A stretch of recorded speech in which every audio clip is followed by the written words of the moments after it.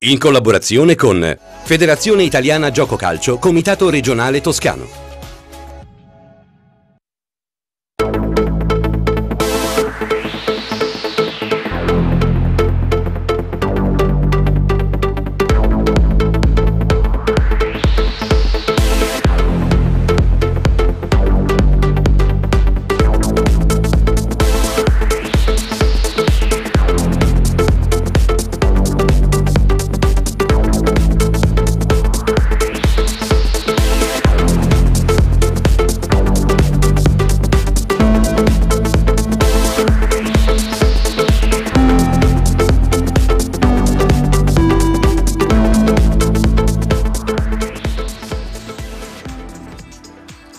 Buonasera, a tutti, benvenuti in diretta al Gioco è Fatto per parlare di calcio dal campionato di Serie D fino alla prima categoria. Avremo anche questa sera la parentesi con le pianticelle bianco-azzurre, la formazione Juniores Nazionale del Prato che continua a pareggiare questa volta sul campo del Bastia. I campionati stanno veramente entrando nel vivo stanno veramente indirizzandosi verso la volata finale, quindi aspetto le vostre considerazioni, le vostre domande, le vostre richieste di curiosità attraverso gli strumenti che mettiamo a vostra disposizione per interagire con noi, gli sms oppure l'applicazione Whatsapp, il numero lo ricordiamo ancora una volta, è il 331 1888 676. Scatenatevi davvero, avremo anche la VAR del lunedì sera, eh? anche questa sera abbiamo almeno 7-8 eh, sicuramente episodi da vivisezionare, da analizzare analizzare con molta attenzione. Un momentaccio per gli arbitri, anche nel calcio dilettanti.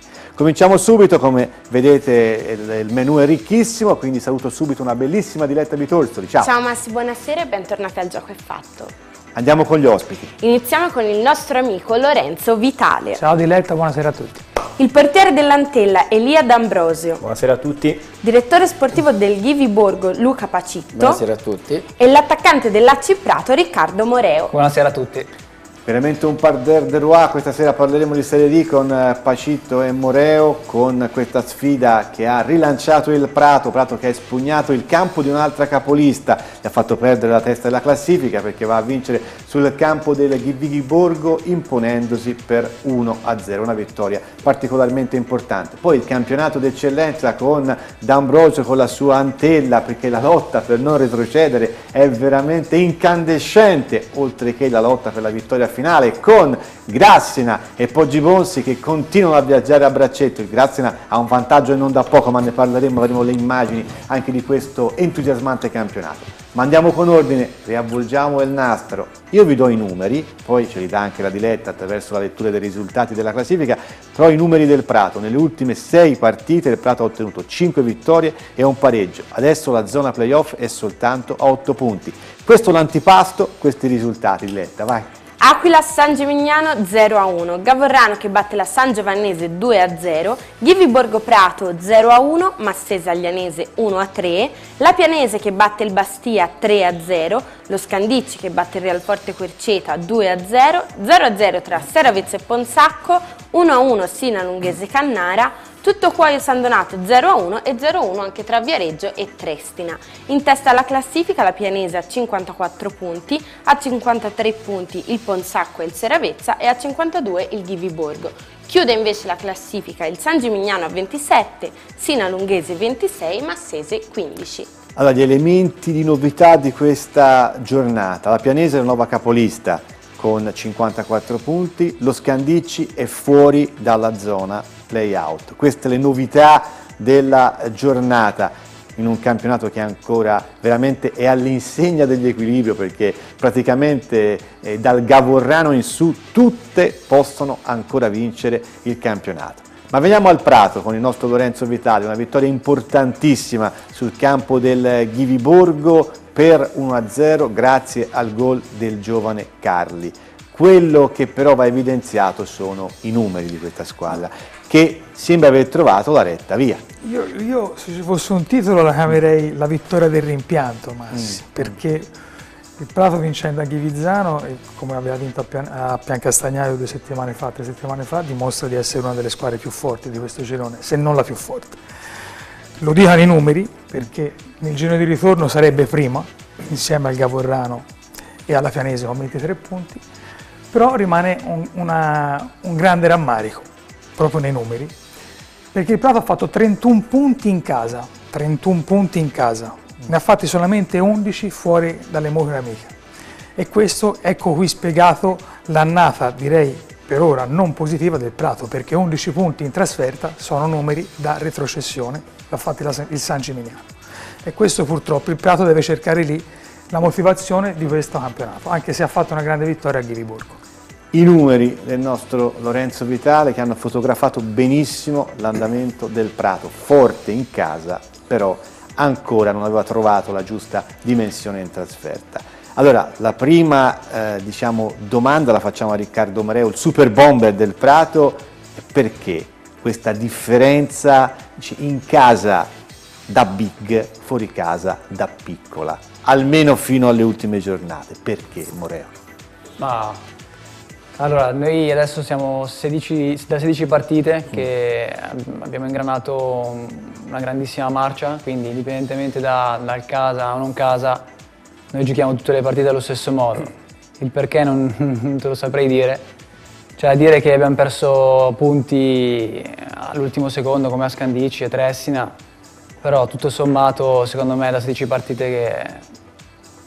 Avete cambiato marcia. Sì, esatto, quindi questo. Luca Pacitto, il Prato va a vincere sul campo del Ghiviborgo, la favola bella del Ghiviborgo però ancora può proseguire perché voi ci credete ancora alla vittoria finale del campionato. Sì, eh, noi siamo partiti Massimiliano per fare un campionato tranquillo, cioè col budget che abbiamo a disposizione, cioè, eh, 52 punti sono tantissimi, no? È chiaro, non avendo una società forte alle spalle come può essere Prato stesso, e se volevamo vincere il campionato a dicembre si prendevano tre giocatori importanti e, e provavamo a vincere, invece si è fatto il mercato, anzi eh, cercando di, di, di, di, vendere qualche giocatore nostro, poi non ci siamo riusciti e quindi eh, siamo abbastanza soddisfatti. Per quanto riguarda il Prato, che poi l'ho visto io eh, ieri, sinceramente è un'ottima squadra è chiaro che anche noi eh, due, abbiamo due ottimi mistri, Pagliuca da una parte con noi e Di Pedrillo con eh, il Prato, tendono sempre a giocare palla e noi abbiamo trovato difficoltà anche noi eh, in, in, casa perché quando si gioca in casa nostra giochiamo su un campo che non è adeguato alle caratteristiche della squadra. E il Prato fa molti più punti in casa giocando su un sintetico e può giocare meglio il calcio anche perché tecnicamente il Prato sicuramente ha una delle squadre con il valore aggiunto più alto. Allora andiamo a vedere cosa è successo, andiamo sul campo di Ghivizzano, rivediamo le emozioni di questo match, poi approfondiamo tutti questi temi perché i numeri di Lorenzo Vitale sono poi la chiave della stagione bianco-azzurra. Questo è l'ingresso delle squadre in campo con il rientro di Quinto che tornava dopo il turno di squalifica. È un primo tempo dove succede particolarmente poco, le squadre si affrontano nella zona nevralgica del campo, il Prato si lascia preferire come sviluppo della manovra al cospetto di un eh, Ghivi Borgo abbastanza timido. C'è un'opportunità per il Prato, il taglio dentro da parte di Tomi per Surraco ed è bravo il portiere Sottoriva a sventare la minaccia, quindi Prato subito pericoloso. Qua c'è un'altra opportunità su un errore da parte della difesa del Ghivi Borgo, qua è Fofanà che però non riuscirà a concludere con Costrutto con la difesa della formazione lucchese che libera. Poi attenzione a questa girata da parte di Frugoli e la parata a terra di Fontanelli, dall'altra parte Remorini che prova la giocata, ancora la difesa del Prato che libera senza grosse difficoltà. Il primo tempo di fatto è tutto qua, succede poco, si lascia preferire il Prato. In avvio di ripresa al 61esimo l'episodio che poteva cambiare il match, c'è questo fallo di mano da parte di Quinto che quindi viene espulso. Doppia ammonizione, espulsione per Quinto. Il Prato poteva sicuramente risentire negativamente di questa situazione e invece continua ad attaccare. Bazzoffi ha questa opportunità e poi ecco il gol. Lo segna il classe 2000 Carli che di testa trova il pertugio vincente e mette la palla in fondo al sacco, lasciato solo dalla difesa del Ghiviborgo. Dall'altra parte ancora Fofana la mette dentro per Bazzoffi, arriva Marino che praticamente va a colpire in maniera fallosa eh, Bazzoffia, calcio di rigore, Vattomi, la battuta sotto riva, qua è bravissimo e riesce a deviare in angolo. Finisce comunque 1-0 per il Prato che centra quindi questa vittoria particolarmente importante in trasferta senza anche Riccardo Moreo fermato eh, dal giudice sportivo per due turni e quindi insomma anche una situazione d'attacco in emergenza. Luca Pacitto, il Ghiriborgo ha fatto poco, poco, poco. Eh. Sì, ma guarda Massimiliano, ora chi era a vedere la partita, magari eh, Moreo lo può confermare, il primo tempo poi non è stato così brutto, ecco, eh, era una squadra, cioè, eh, anche il Prato che è stata molto, molto fraseggio ma poco costrutto sì, in fase finale. Sì, eh. sono stati molto tattica, cioè, il centrocampo si è, si è, giocato molto tra entrambe le squadre, però è stato un piacevole primo tempo, eh, non è stata una bruttissima partita. È chiaro che affrontare Oli Prato eh, che è in forma è difficilissimo per tutti perché anch'io ritengo che Prato attualmente sia la squadra migliore de del campionato. E noi siamo infatti trovati impreparati sul gol, una di 70, non è dal mio punto di vista un giocatore di esperienza, tagliavacche che non lasciano libero un uomo e Ricordiamo anche l'onestà eh, intellettuale che il Prato ha giocato in 10 uomini nella sì, sì, ma infatti quello ci ha condizionato perché guarda sul calcio d'angolo mm. eh, che scendeva quinto e eh, lo doveva marcare Nolè e, e allora sono saltate le marcature e si sono fatti trovare impreparati però un giocatore di esperienza eh, non puoi prendere un gol su un calcio piazzato. Allora adesso con il nostro innocenti regia ci fermiamo su questo episodio, l'espulsione di Quinto, che vedete scivola, rivediamo un attimo innocenti cortesemente, seconda ammonizione Vedete però qua inciampa eh, sul terreno sconnesso e qui va a colpire la palla con la mano, mi sembra non ci siano dubbi sulla eh, ammonizione, quindi doppia ammonizione e espulsione di Quinto. E poi visto che ci siamo vediamo anche la concessione del calcio di rigore, eh, questo intanto è un'opportunità per Bazzoffi alla rientro dopo un lungo periodo di inattività, questo è il gol di Carli che come diceva ovviamente Pacitto è lasciato solo e quindi qua c'è un errore da parte della difesa della Ghivizzano proprio di posizionamento, insomma di eh, ovviamente copertura sull'uomo che arriva da dietro e questo è l'intervento di Marino eh, su Bazzoffia che lo anticipa, finisce lungo e disteso.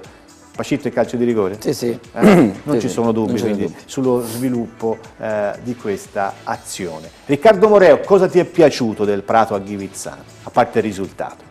No, beh, è stata, una, è stata una grande vittoria, soprattutto perché siamo andati in inferiorità numerica e da quel momento in poi ci siamo più stretti come gruppo, abbiamo trovato quella, quella voglia in più di vincere la partita e poi l'abbiamo portata a casa. Una vittoria importantissima per il Prato, con il gol eh, Lorenzo Vitale di Carli, questo 2000 che sta sicuramente eh, giocando un gran campionato. Sì, l'ho detto anche l'altra volta, è un giovane vecchio, è, uno, è un ragazzo sicuramente interessante, un 2000 uno dei più pronti, ho visto giocare in Serie D, cioè è uno di quelli che gioca e non si sente il fatto che ha una quota, quindi è molto importante, ma il Prato ha tutti i giovani bravi. Eh?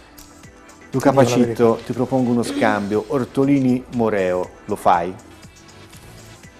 Insieme. Eh? Insieme, insieme, non è uno scambio. No, ma no, eh, sai io con, con Ortolini ci sono molto legato, a parte che lui è molto più Non giovane. lo fa Moreo, guarda, questo è molto, molto legato, non lo fa. Eh? Che giocatori sono? Quali sono le differenze sostanziali tra questi due super bomber del campionato? Potrebbero giocare anche benissimo insieme, sinceramente, mm. perché se giochi con due punte, Ortolini ultimamente con Mister Pagliuca attacca molto più la profondità, mentre prima mm. giocava molto più di, di sponda, venendo incontro e invece ora giochiamo un po' più in profondità con Ortolini. Moreo è più giovane, cioè, penso che avrà una carriera verosa, eh, perché penso che già è stato bravo Paolo Toccafonti a, a, a individuarlo, a, a individuarlo e a farlo rimanere a Prato perché penso che aveva tantissime richieste di categoria superiore. Fanno un po' a testare in area però. Sì. Due ortolini insieme un po' a testare fanno. Eh vabbè, questo poi sarà un problema sì, del mister. Problema però è vero. Lorenzo Vitale, ma insomma lo faresti questo scambio Ortolini-Moreo? Ma per professionalità sì, eh. eh. senza offendere Ortolini, è un, un, un ottimo giocatore però ha qualcosa in più. Dici la verità Moreo, ma nel mercato di riparazione di gennaio hai veramente rischiato di lasciare Prato? Ma io con la società ho un buonissimo rapporto, sono contento di, di essere arrivato qua, anzi l'anno scorso già dovevo venire qua, infatti mm. il direttore e il presidente li ringrazio per avermi portato quest'anno e dunque nulla, poi a gennaio sono voluto rimanere qua. Mm. Senza... Chi ti ha cercato a gennaio? Tanto non ci sente nessuno. No, più che altro a dicembre mi aveva mm. cercato un'altra Serie D che puntava a vincere il campionato, ma... Vabbè, Serie D per Serie D, Prato. Sì, sì, infatti, cioè, tutta la vita. Questo sì. Allora, a questo punto io direi di vedere una clip perché la scorsa settimana Moreo è stato al centro no, di eh, un vero e proprio insomma, elemento mediatico importante, insomma, tutti parlavano di questa espulsione, eccola qua, dopo il gol realizzato al Viareggio. Intanto il gol con il Viareggio è tanta roba, questo è un gol di giustezza dalla vittoria del Prato e quello, questo, è quello che conta. Poi memori della, diciamo, del fatto legato all'esultanza di Simeone in Champions League, l'arbitro non ha gradito quello che è stato il getto scomposto di Moreo e l'ha mandato eh, anzitempo sotto la doccia. Ma veramente volevi emulare il Ciolo Simeone oppure siamo stati noi giornalisti a ricamare su questa situazione? No, io non ho imitato nessuno. Eh, eh. Come ho ripetuto anche prima, mm. Purtroppo è stato uno sfogo della partita dato da una Con chi ce l'avevi Moreo? Dai, diccelo. Ma non ce l'avevo con nessuno, cioè con il momento, però è stato provocato tutta la partita, quindi è stato un gesto che non rifarò più ovviamente, mm. però rimane uno sfogo, niente di più questo il Moreo espulso, questo invece il Moreo che segna e segna a raffica, abbiamo una collection dei tuoi gol, hai veramente deliziato il pubblico bianco-azzurro. Insomma, a Prato abbiamo scoperto il vero Moreo, ti sei sbloccato. Sì, eh? sono sbloccato, arrivavo da due anni che comunque non segnavo. Mm e quindi è, stata, sta, sta, è, cioè è, un anno molto positivo per me. Ti, sono... dico, ti, ti faccio una confidenza sì. Moreo, quando eh, qua a Gioco e Fatto è arrivato Riccardo Moreo, io ho letto il tuo curriculum e ovviamente non ho evidenziato i gol realizzati perché non l'avevi fatti la scorsa stagione. La nostra diretta ha ricevuto un paio di sms, dice, ma non avete detto che non ha segnato un gol. Ecco, adesso puoi veramente rispondere sul campo, i gol li stai segnando e segnando a raffica. Eh, cosa ti ha cambiato nell'arrivo a Prato? No, cioè, ovviamente eh, giocare sempre avere la fiducia di tutto l'ambiente mi ha aiutato molto. Però sono arrivato qua con grande fame, grande voglia e poi il campo ha parlato da solo. La specialità della casa di Moro è questo colpo di testa sulle cross che arriva spiovente, ho visto che in un paio di circostanze sei stato letale. Sì, io attacco sempre il primo Eccolo palo. Qua. Bravo. Poi conosco anche i miei compagni, quindi so che me la mettono sempre lì e io ci, ci provo poi. Riavvolgiamo il nastro di questa stagione bianco-azzurra, veramente come diceva Vitale, eh, questa fragilità fuori casa è stata decisiva per impedire al Prato di poter lottare per la vittoria finale. Questo è un altro gran gol a San, a San Donato. Sì, no, è vero, sono d'accordo con quello che si è detto prima, perché fuori casa troviamo campi difficili, dove appunto non riusciamo a palleggiare come palleggiamo in casa. Infatti ti volevo fare una domanda, se posso Riccardo. Perché voi cercate sempre di imporre il vostro gioco sia in casa che in trasferta, io ho visto giocare sia in casa che in trasferta. Non è che magari in, in trasferta, quindi quando le squadre avversarie sono in casa, prendono più coraggio e vengono a attaccarvi alti, sono più sfrontati? Questa è una domanda che ti faccio. E voi soffrite un po' questo atteggiamento?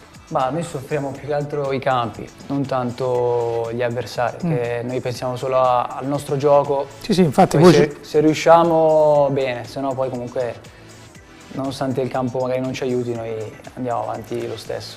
Certo. Avete fatto la tabella in queste ultime otto giornate di campionato?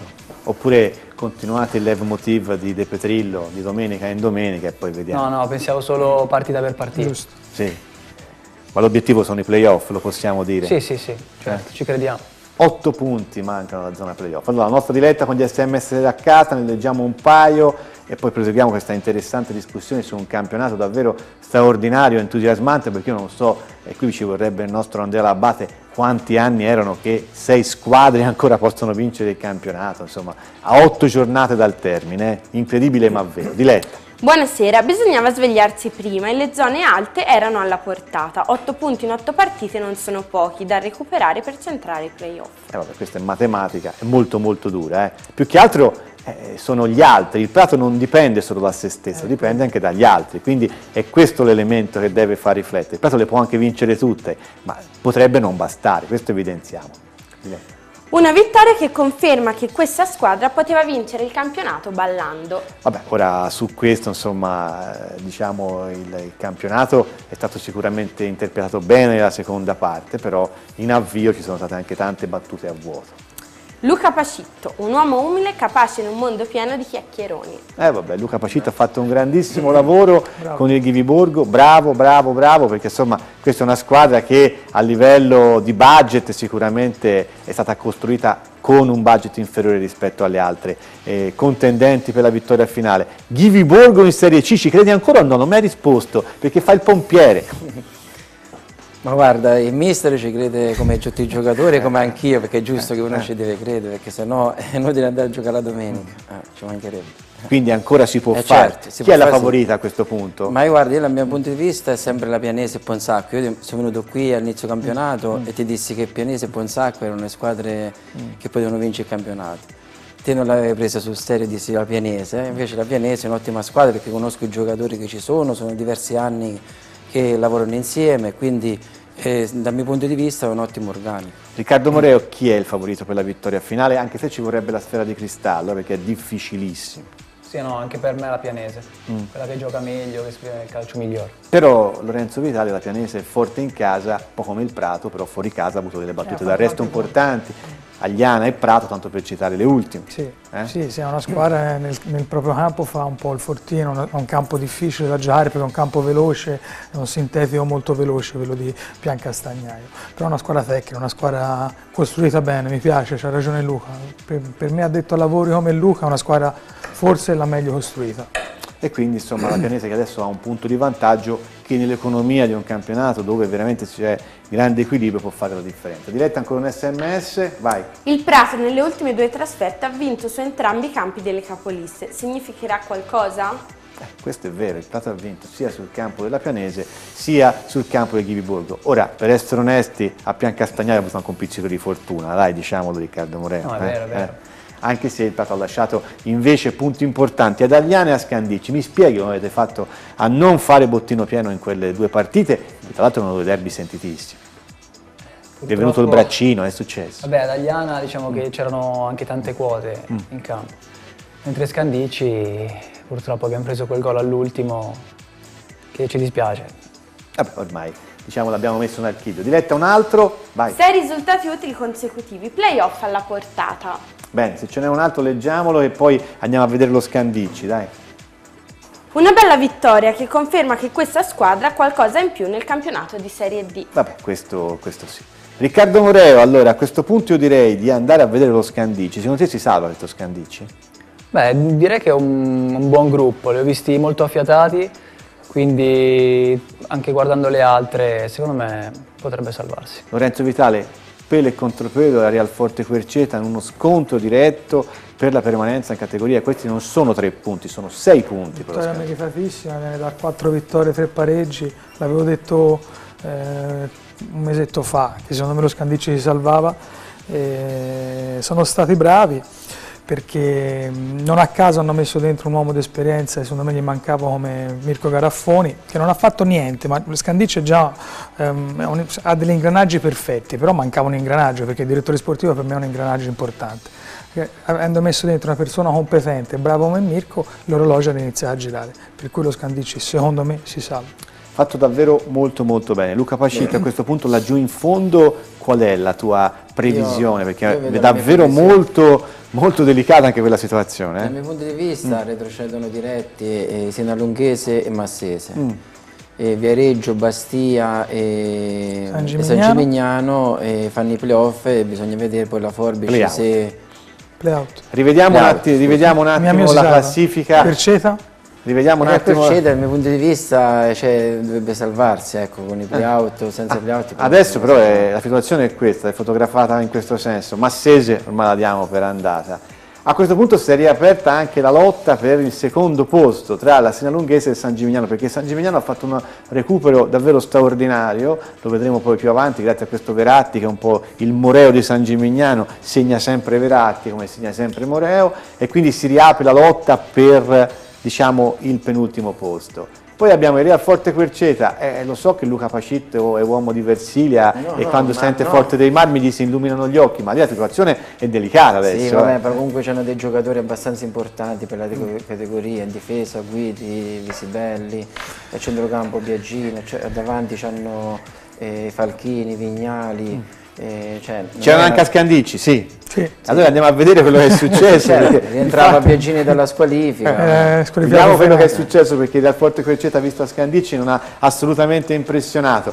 Gli highlights di questa gara, poi ovviamente leggiamo anche gli altri sms che stanno arrivando copiosi come al solito. Allora, partita che ha visto subito partire, ha sprombattuto questa formazione dello Scandici guidata da Claudio Davitti, subito un'opportunità in avvio per Bragadin, eccolo qua, Bragadin che eh, ci prova con la parata comoda del portiere Puccini, dodicesimo, Scandici in vantaggio con questa eh, giocata che porta al gol da parte di Poli, il tiro non trattenuto da Puccini e il gol di Poli che porterà quindi avanti la formazione dei Blues. Rivediamo l'azione con il gol realizzato da Poli al posto giusto nel momento giusto, anche il campo di Scandici insomma abbastanza irregolare e sconnesso, eh, non aiuta sicuramente lo sviluppo della manovra. Questo è ancora Poli che eh, ci prova adesso, lo vedremo con questa battuta dalla distanza con la palla che si alza sopra la traversa.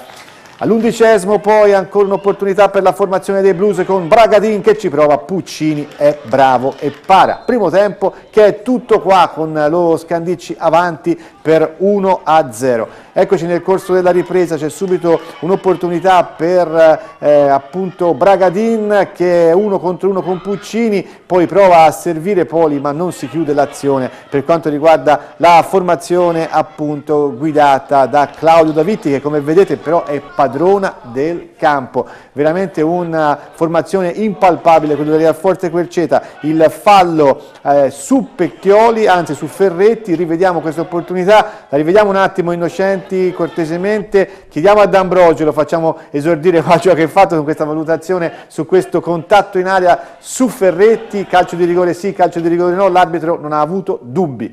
D'Ambrosio.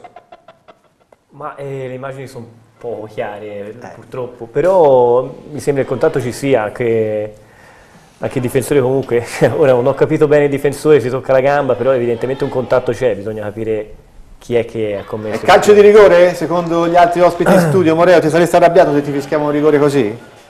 Eh, fossi nel difensore sinceramente sì. Ma l'arbitro lo vedo però Eh, molto deciso. Un po' quello che c'è mi sembra le, le- proteste Proprio, della Real Forte l'arbitro, guarda l'arbitro. Sì, sì, è ben È posizionato. già sul dischetto, quando gli fa... Guarda, che lo vede proprio, ce l'ha diritto.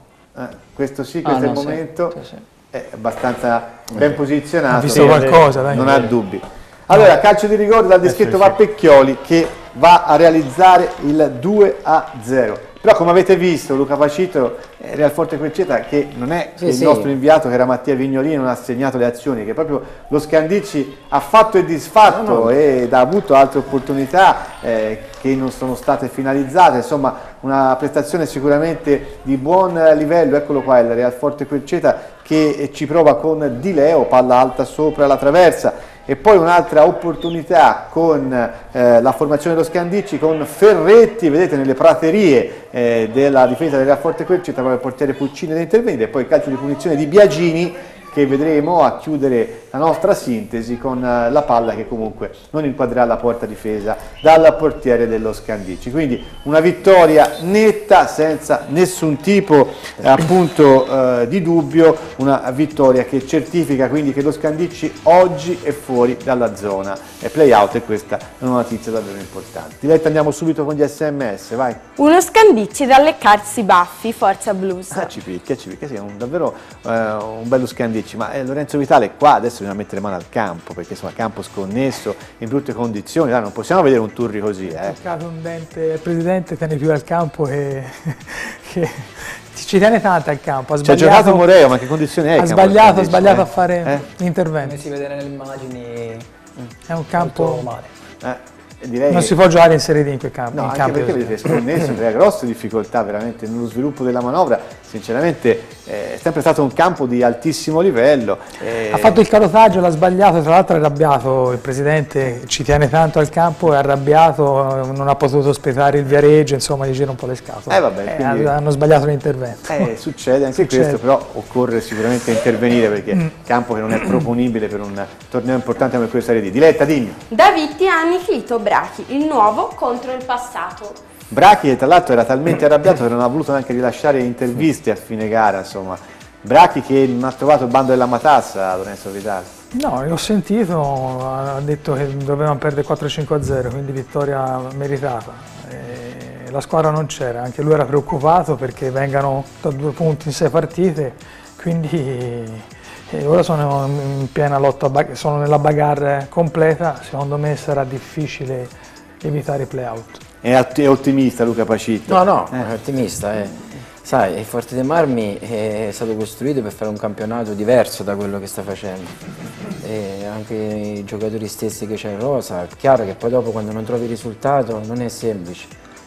E lì deve essere bravo il mister a trovare la giusta direzione perché sennò chiaramente come ha detto giustamente Lorenzo fanno fatica a uscire dai play-out. Eh sì, è tutto ancora da decifrare, poi facciamo un'analisi anche sul, sul, calendario. Diletta. Un magnifico Scandicci che non deve mollare mai.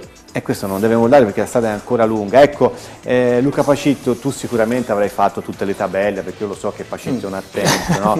e quindi insomma, ma eh, gli incroci tra l'alta classifica e la bassa classifica oggi c'è cioè il Ghiviborgo, meglio trovare un Real Forte Querceta oppure un Ponsacco? Ma guarda, oggi, oggi è meglio incontrare Ponsacco. Vedi che ci sono arrivato. E quindi insomma nell'analisi di fine stagione, insomma, in queste alchimie dei vari incroci, anche perché chi ha il calendario più semplice? Il calendario più semplice secondo me ce l'ha la Pianese. Mm. Poi mh, giustamente dicevamo prima con Lorenzo c'è San Donato mm. e queste due squadre qui, poi le altre così così. Anche noi ci avremmo facile sinceramente però le partite, eh, se vedi lo stesso San Gimignano che ha fatto quattro risultati utili consecutivi, che domenica è andato a vincere a Montevarchi, cioè, ti fa capire che il campionato è molto equilibrato. No? Certo. Eh, quindi è difficilissimo fare pronostici, dice oggi si vince, domani si perde, è difficilissimo. Rispondimi sinceramente come sei, ma sì. questa storia che nessuno vuole andare in Serie C perché le, le società no. non sono strutturate, è una falsa, è una falsa, è una falsa, è una falsa storia. Perché? È una falsa perché tutti ci vogliono tutti andare. Ci vogliono andare. San Donato prende Chinassi subito. Eh, eh. il Ponsacco vuole fare un colpo di mercato importantissimo, mm. un ex serie attaccante che ha giocato anche in Serie A. Eh. Quindi, nome e cognome, dicelo, a questo punto ci hai, ci hai messo l'acqua la voce che volevano prendere Orlando Bianchi. Eh, Orlando Bianchi, che adesso fa il commentatore televisivo. Vabbè, eh, Questo purtroppo è l'allenatore del pallone che ha messo questa cosa qui, la gente può vincere, quando gioca il eh, calcio eh, vince. vincere. Ma anche perché chi va da giocatore a dirgli ragazzi oggi bisogna vincere, ma chi va? I giocatori quando giocano vogliono vincere. Allora, vero, vero Riccardo? Direi, direi, no, perché sai, qua mi sembra, vedendo la classifica ci sia cioè, è che è difficile, un campionato equilibrato dove insomma manca veramente la squadra che può ammazzarlo questo campionato. Sentiamo Claudio Davitti sta facendo un lavoro straordinario, era contentissimo, sentiamo l'analisi del tecnico dei Blues dello Scandicci. Vittoria importante in una partita difficile, buona squadra, eh, Marco fa giocare molto bene le sue squadre, forse il campo non l'ha aiutato, noi siamo stati in gara per quelle sono le nostre caratteristiche, sapevamo che era una gara dove dovevamo soffrire e alla fine l'abbiamo spuntata. Ecco, abbiamo sentito Daviti sta facendo particolarmente bene con il suo Scandice. A questo punto, prima di andare a vedere la formazione dell'Aglianese che si rilancia, c'è qualcosa di letta? C'è una domanda per Moreu. Mm. Uh, ha all'attivo circa 60 presenze in Serie C e 0 gol, come mai? Beh, diciamo che non ho mai giocato con continuità, eh, però ho anche, ho anche vissuto l'anno scorso un'annata molto pesante perché giù ad Agrigento è stato veramente difficile fare calcio, anche allenarci, quindi penso al presente, mi godo questi 19 gol e basta. Poi i ragazzi vanno saputi aspettare, soprattutto le punte, non hanno età. No, questo indubbiamente. Calma. E poi bisogna anche evidenziare una cosa, insomma, eh. quando Morea è arrivato, l'abbiamo letto, no? il Corino l'ho detto in precedenza, e qua c'è qualche tifoso che è cattivello, ragazzi non ha fatto 19 gol, eh, vuol dire che quest'anno è esploso, quindi ha trovato esatto. la giusta eh, collocazione. Ma magari il nostro telespettatore non aveva visto l'inizio della trasmissione. No, magari vedeva giustamente, Riccardo ha risposto bene, giocava con meno unità, quindi magari sono 60 presenze, ma magari di 20 minuti. adesso il grande punto interrogativo è, Moreo sarà devastante così anche in Serie C? Eh, questo lo scopriremo nelle prossime puntate sicuramente, però in questo momento ha dimostrato di segnare di testa e quindi di testa quando si hanno quei movimenti si segna in Serie D, in prima categoria, in Serie C e in Serie B, perché è un movimento che è un movimento straordinario, quello dell'attaccare il primo palo e a trovare quei gol qua che ci fa rivedere il nostro Paolo Innocenti, il nostro Messi in regia, lui dalla regia segna tanti gol, ed è uno di questi e anche questo, eh, però insomma, quindi sono movimenti che non hanno categoria, ragazzi quando si segna, si segna in tutte le categorie, io sono convinto di questo, Luca Pacitto che No, no, dice? È vero, è vero, perché guarda, io prima facevo il procuratore, avevo Biasci in procura no, a Livorno, si, eh, si faceva fatica a sistemare in Serie C, è andato in C e non giocava, ha giocato poco, prima alla Lucchese e poi alla Paganese, dissi guarda vai in Serie D e vedrai che fare gol e ti rilanci, è andato prima a Ponzacca, ha fatto bene, poi alla Massese e ora alla Carrarese, l'anno scorso ha bene. fatto mi sembra 18 gol o 15 gol in Serie C, ora di nuovo alla Carrarese sta facendo bene, capito? Lorenzo Vitale è pronto Moreo per la Serie C?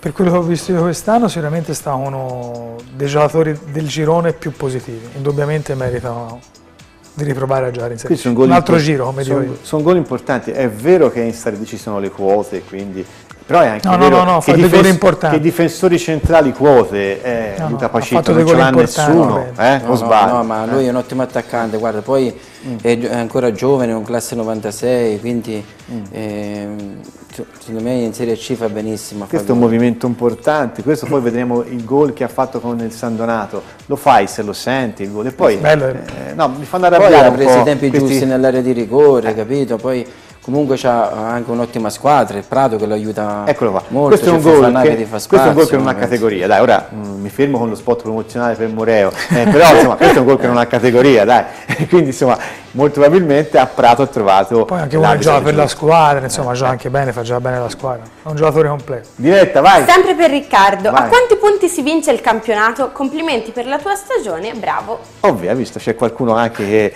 è un pochino più ottimista E secondo me si vince 72-73 come dicevamo prima. e quindi non ci si arriva, il Prato non ci arriva, matematicamente è impossibile. Matematicamente, vabbè, questi sono numeri che stiamo dicendo ora, però poi in campo ci, vanno, ci andiamo noi, quindi vedremo, dai. Diletta. Ciao Dile, una domanda a Vitale e Pacitto. Chi tra le squadre di testa ha speso di più e come mai il Seravezza ha venduto Rodriguez le ha vinte quasi tutte? Complimenti anche al mister Malotti. Un abbraccio Paolo. Beh, risposta velocissima, Pascitto e poi Vitale. Allora, eh, speso di più lo faccio dire a Lorenzo. per quanto riguarda il Lui sa quanto ha speso, speso il Kiwi Borgo, No, vai, lo so fermi che- gli altri. però non mi sembra giusto dirlo. Eh, vabbè. però per quanto riguarda il Seravezza eh, hanno cambiato modo di giocare eh, perché prima eh, um, giocavano di ripartenza, ora invece fanno un altro tipo di gioco. Lorenzo L'ho Vitale, detto ha l'altra speso di volta, con Pegol avevano cambiato modo di giocare, quindi stava bravo l'allenatore del Seravezza. Chi ha speso di più? Eh, non, non so, non, posso fare i conti in tasca alle altre squadre. dai. Ci asteniamo, ci asteniamo. Andiamo agli Oliveti di Massa a vedere come l'Aglianese vince contro la Massese. Una vittoria importantissima per la formazione di Agostino Jacobelli che passa su un terreno difficile perché questa Massese è ultima ma mica arrendevole, quindi una vittoria che vale sicuramente tanto. Tra l'altro la Massese va anche in vantaggio con il gol di Aldrovandi, poi ci sarà il pareggio da parte. Questo è quello che mi piace della Massese che ha questi tifosi che comunque nonostante l'ultima posizione continuano sempre a seguire la squadra. Ecco l'Aglianese che riesce a pervenire al pareggio, vediamo per questo fallo di mano, c'è il calcio di rigore e dal dischetto sarà Rosati, eccolo qua a mettere la palla in fondo al sacco, quindi il pareggio della formazione dell'Aglianese che veniva da una brutta sconfitta, quindi aveva necessità assolutamente di portare a casa i tre punti. E poi nel corso della ripresa la formazione di Jacobelli riuscirà a portare avanti il risultato, questo è il gol di Di Vito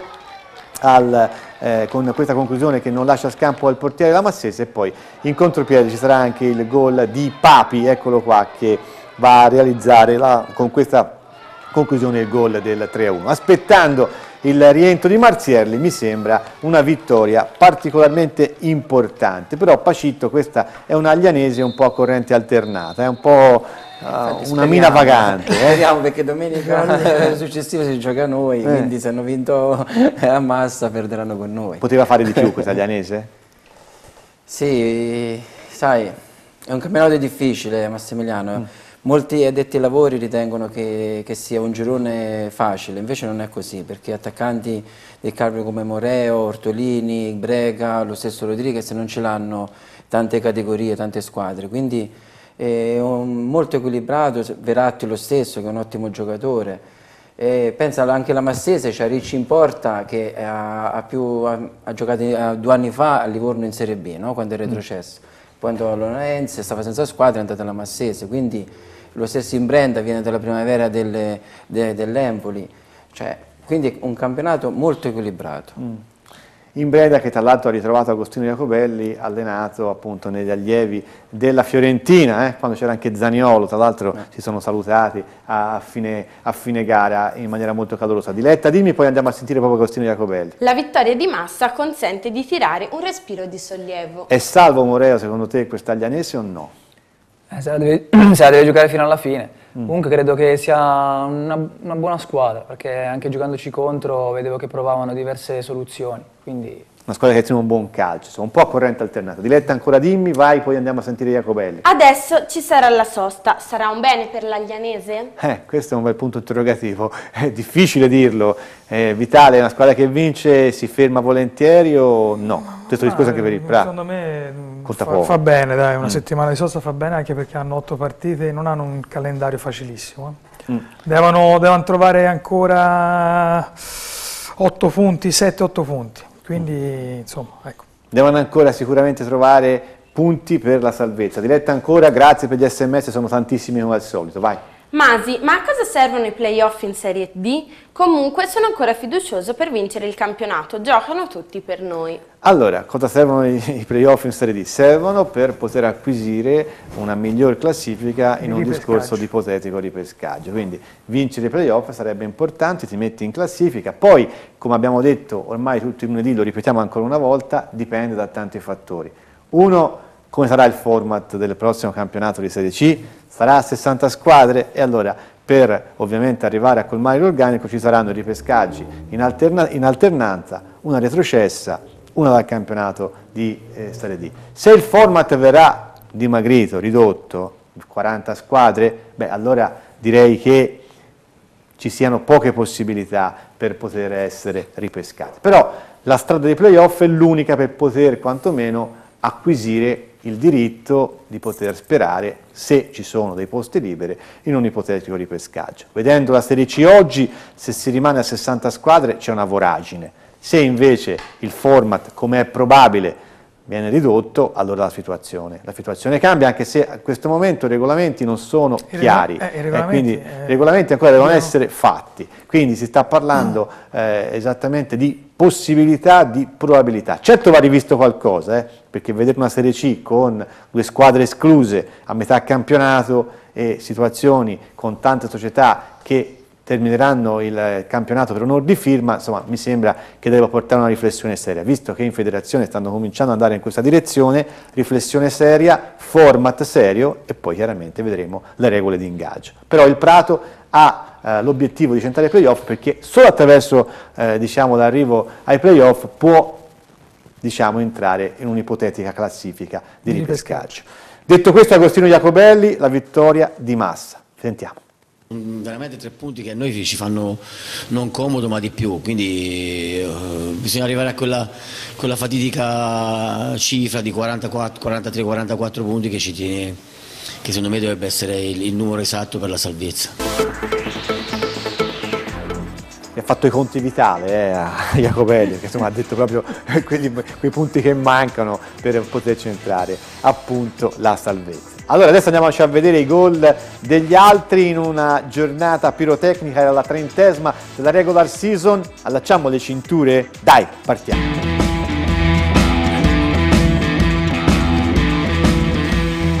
Questo è Veratti, punizione con il contagiri e il San Gimignano sbanca il Brindisi per di Montevarchi. Chiavorrano batte la San Giovannese per 2-0, il primo gol di Bruni, il raddoppio di Gomez, eccolo qua, con la complicità anche del portiere della San Giovannese.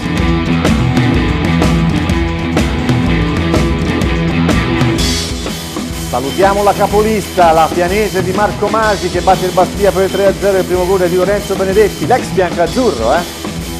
Il raddoppio sul calcio di rigore con Buongiorno e poi segna ancora Lorenzo Benedetti, eccolo qua il gol del 3-0, una super pianese che vince e convince, la capolista va!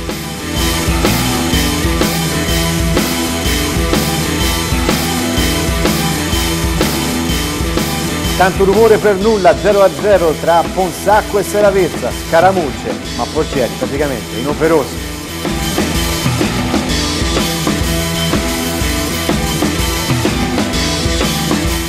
Cannara in vantaggio a Sinalunga, il primo gol di Colarieti, poi al novantesimo salva la sinalunghese chi?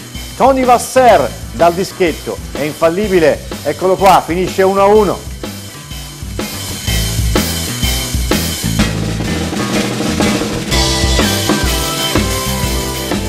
Alto sconto di vertice con il San Donato che passa sul campo del tutto Coio, realizza Duccio Brenna, eccolo qua il gol vincente.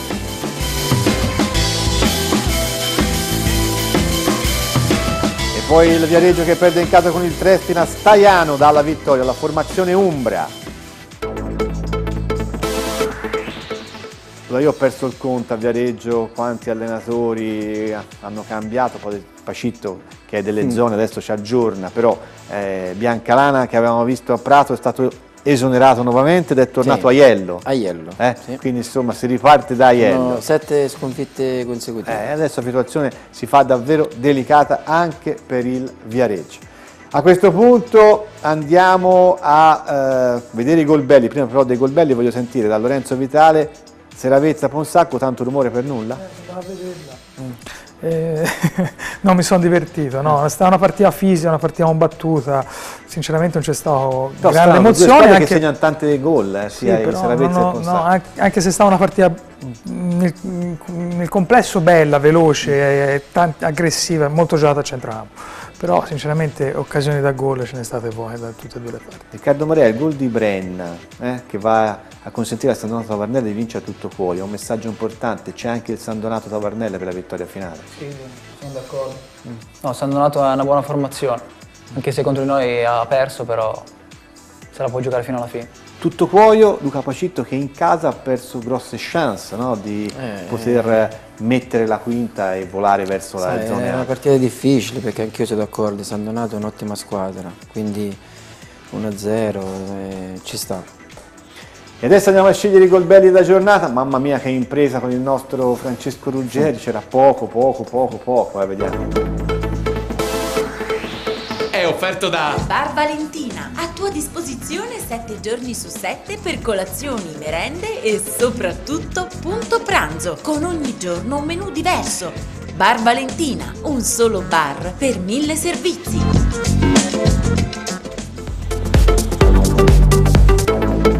Veratti, San Gimignano, tanta tanta roba.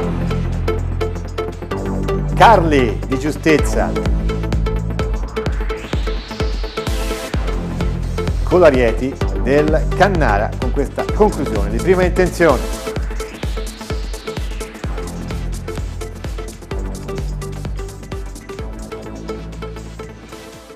prima che arrivi l'SMS da casa, non c'era di meglio, ve lo dico subito, abbiamo rivisto, rivisto i gol con il nostro Francesco Ruggeri, ma sinceramente eh, abbiamo messo Verratti perché se lo merita da un gol bello, ma perché sta segnando a raffica, sta, sta dimostrando di essere un bomber vero. Carli perché ha dato la vittoria al Prato e poi Colarieti che mi è sembrato oh, bello, eh, sì, però il meno peggio il gol di Colarieti del Cannara rispetto a tutti gli altri. Allora scegliamo il gol bello con Lorenzo Vitale, che scegliamo? Verratti. Verratti. D'Ambrosio.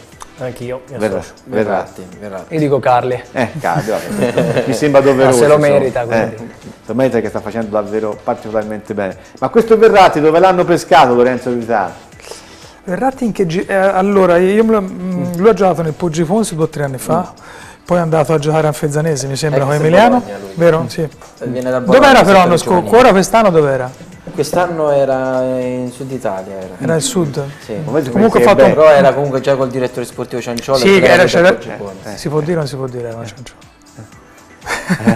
Eh, a questo punto io ragazzi, io ve lo dico, è bello fare la trasmissione con Pacitto e Vitale perché gli chiedo un giocatore e lo sanno, le sanno tutti ragazzi. Di qua dice chi ha preso? Dice, ci ha dato anche il colpo Rolando Bianchi. Fatto, era un cambio a Poggifonsi importante, quando Eh. il Poggifonsi arrivò secondo, Sì. dietro il Siena, era un Sì. cambio importante lui. Eh. Vorrei aver visto questi due eh, qua sanno tutto, dice, si muove in Serie D, le sanno tutte. Diletta, dimmi, mi guardi, dimmi. Lorenzo, cosa ne pensi di Verratti? Erano praticamente spacciati da quando ha iniziato a segnare e si sono rimessi in carreggiata. Complimenti a San Gimignano che io li avevo dati per spacciati, quindi eh, fanno bene se mi mandano dei messaggi contro di me. È un giocatore importante, è un giocatore Sì, importante. ora, hanno migliorato la situazione, sono sempre in situazioni drammatiche. Secondo eh. me, Eh, infatti, la forbice. ti volevo dire eh. quello, Eh. cioè, sicuramente sono stati bravi a fare queste quattro vittorie, però arrivare a salvarsi la vedo ancora lunga, anche se Verratti è un giocatore bravo. Ecco, prima di andare alle pianticelle bianco-azzurre, sì c'è altri sms, li leggiamo, vi dico che domenica prossima il campionato di Serie D è fermo perché la rappresentativa di Serie D parteciperà al torneo di Viareggio. Sono state le convocazioni da parte del tecnico eh, De Patre e c'è pochissimo eh, del girone E, Luca Pacitto insomma. Ferrante del Gavorrano, Ferrante del Gavorrano che è un 2001. Delano si è eh, fatto male però.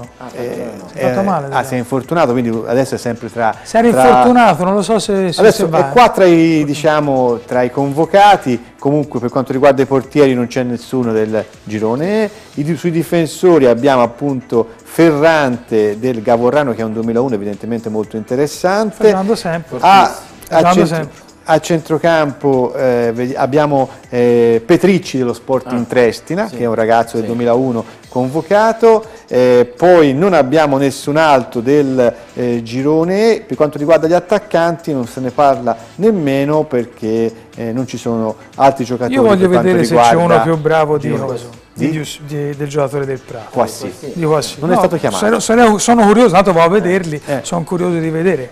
Non, sono, non anche stati di chiamati. Chiti della Ianese, sembra strano che non l'hanno convocato. Queste sono le convocazioni. Telefonate a De Patre, chiedetegli spiegazioni. Io, noi ci hanno chiamato dell'orfanello, un paio di squadre, ora si valutava... Sì, la Eh. Carrarese te l'ha Eh, chiamato. sì, Carrarese e Salernitana. Tra l'altro anche Chiti penso vada a fare con la Carrarese Chi? Chi? eh, il torneo di Ozzellini. Ozzellini, Zellini, uno, uno dei due. Zellini, uno dei due comunque andrà sicuramente al, al torneo di Viareggio con la Carrarese che ha la formazione Berretti e quindi cercherà di Io rinforzarla. una volta mi sono Eh? mi sono leteato perché non mi chiamava mai nessuno, perché una volta ho preso il telefono, Mm. io ho detto scusate ma i miei non li convocate mai, no, che poi dopo si era venduto Quindi hai parlato con De Patre, No, con Gentilini. un altro, Ah vabbè, non ce lo dico. segretario, Mm, vabbè. Franchesi, no, lo posso anche dire, non ci vuole mai. E cosa ti ha detto? Ma il mister Eh, fa le convocazioni. eh, capito, però a volte poi dopo eh, si era venduto anche un giocatore in Serie B, dopo si è venduto, dopo fate anche le figure non tanto belle. Eh. Eh, scusa, non vale neanche. Eh, anche Pacitto voleva dell'orfanello convocato. Io... No, no, eh, c'è anche lo stesso... Orfanello è un giocatore forte, eh. Eh, vabbè, queste sono le convocazioni del eh, nostro De Patre. Prima delle pianticelle, se c'è qualcosa di letta, andiamo a leggere, Sì. poi pianticelle bianche-azzurre, vai. Tanti giovani interessanti, Moreo, Giampà, giocatori che in questa categoria non sono di sicuro di passaggio. Sei d'accordo Vitale? Me l'auguro per loro, me l'auguro per loro. Allora, per quanto riguarda le punte, secondo me è più facile ritornare in Serie C. Per quanto riguarda gli altri ruoli è un po' più difficile, perché, perché ci sono tante dinamiche come San Luca, che valorizzazioni. Eh, anche su questo, perché le seconde Però squadre... ci sono tanti giocatori che si meriterebbero di tornare in Serie C in questa Serie. Le seconde squadre stanno andando verso termine, sono a fine corsa e quindi le valorizzazioni torneranno ad essere Eh. sicuramente un qualcosa di importante se saranno confermate eh, poi in questa nuova logica, ma penso proprio di sì, diletta. Ma il punto di penalizzazione del Prato non potrebbe compromettere un eventuale ripescaggio? No, un punto di penalizzazione non per illecito, ma un punto No. di penalizzazione per mancata presentazione alla partita, quindi non credo ci siano problematiche di questo tipo. Poi mi sembra anche che vanno riscritte le regole, signori, il Prato non è stato iscritto al Il Taranto di- comunque, il Eh, Taranto sta facendo ricorso perché ha preso un punto di penalità Mm. e, e non, non può fare domande di ripescaggio. Mm. Vabbè, questo lo Questo lo so per certo che ho parlato con il direttore Però sportivo. dipende e da- per infatti- il motivo per il quale Eh. è stato preso il punto di, Sì. di penalizzazione. Mi Questo è sembra un- per mancati pagamenti Eh, è un altro di- tema. di- eh. Qua c'è un, un punto di mediazione perché non ti sei presentato Sì. una partita, poi c'è un, un tema eh, abbastanza ampio. Però vanno scritte le regole, quindi insomma, eh, finché non sono scritte non siamo in grado di dare giudizi eh, sul format, su quelli che saranno anche gli adempimenti da appunto portare avanti per chiedere di pescaggio. Diletta. Po' cattivello. Ah. Prato squadra mediocre, ora tutti sul carro perché ha fatto qualche punto, fino a qualche mese fa se ne parlava meno. Vabbè, qua non c'è nessun caso. Il Prato ha dimostrato di, eh, nella seconda parte del campionato di fare un, uh, un buonissimo andamento, come diceva il nostro Lorenzo Vitale, è capolista se si guarda i Si è- punti si è fatti. anche periodo. quando c'è stato da Certo, criticarlo, certo. Il. Prato ha saputo nel- nel- diciamo, durante il campionato trovare il giusto equilibrio, adesso è una squadra sicuramente tra le più in forma del campionato, eh, sei risultati utili consecutivi, 5 vittorie eh, nelle ultime 6 partite, tanto di cappello al Prato. Quando il Prato prendeva le legnate a massa l'abbiamo criticato, giustamente perché era da criticare, punto. Eh, anche lo stesso Moreo, cioè noi non facciamo sconti a nessuno, poi Moreo mi fa 19 gol. Io lo salvai, il partita di massa fu l'unico che salvai fu No, Moreno. uno che fa E Rozzi. 19 gol, io mi devo il cappello tutta la vita. Eh, però se chiaramente non fosse stato così, sareste stato oggetto delle, delle critiche nostre, come ovviamente dei nostri telespettatori. Moreo oggi è una delle punte importanti del campionato di Serie D. Sei del Prato? Sì, sono del Prato. Quindi a fine anno che No, succede? È fine anno all'articolo 108 che mi svincolerà. Ah, quindi 108 significa che al 30 di giugno cartellino di Eh, Moreo libero torna, allora. torna, Vabbè, torna da Moreo e va, a trattare, e va a trattare insomma eventualmente l'ingaggio con chi ritiene più opportuno. Questo per farvi capire da casa, eh, perché uno dice 108 che è? Cioè, il numero di telefono, no?